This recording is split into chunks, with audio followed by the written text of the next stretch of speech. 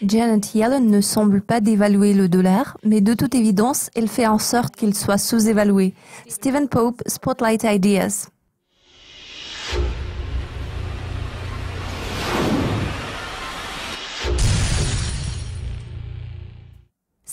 Mardi dernier, le yen a atteint son plus haut sur 17 mois. Au cours de sa réunion de mars, la Banque du Japon a maintenu son taux directeur inchangé à moins 0,1%. La semaine passée, la Banque centrale du pays a présenté son rapport mensuel. Compte tenu de ce qui précède, à quel niveau voyez-vous la perte dollar-yen dans un intervalle d'un mois? Au cours du mois prochain, les indicateurs techniques prévaudront sur les données fondamentales. Nous ne prévoyons pas de mesures actives du côté de la Banque du Japon. Je pense que la banque va maintenir le statu quo comme elle l'a fait au cours des quelques réunions de politique monétaire précédentes. À l'heure actuelle, la perte dollarienne est entrée dans une phase de correction. Je crois que cette tendance va se poursuivre. Par conséquent, la paire pourrait tester le niveau de 109,96. Une fois que ce niveau aura été cassé, nous pourrons voir la paire à 109,57 dans un mois. Les données récentes ont reflété le degré d'influence exercé par l'évolution du taux de change du dollar sur l'économie américaine. Le ton conciliant de Madame Yellen a-t-il affecté vos prévisions financières à moyen terme?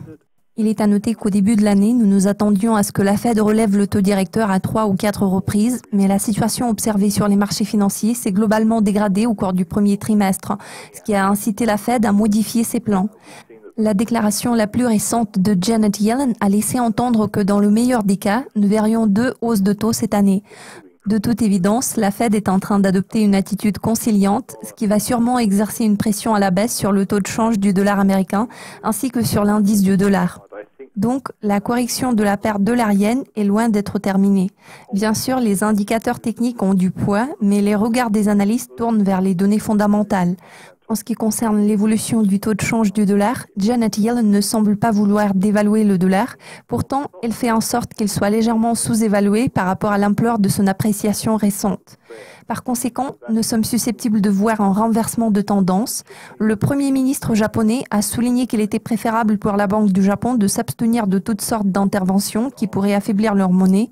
Donc, tout porte à croire que cela va stimuler un certain raffermissement du yen. Je table sur 107,50 à moyen terme. D'accord. Quelles sont vos prévisions financières sur six mois? Pourrions-nous voir un renversement?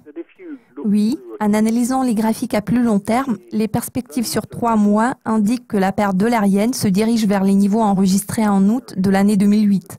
À ce stade, je ne pense pas que nous voyons un impact réel des quatre années d'abénomie introduites par Shinzo Abe.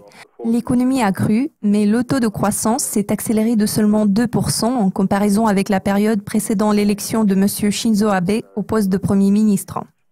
Alors quel est l'objectif réel du gouvernement japonais?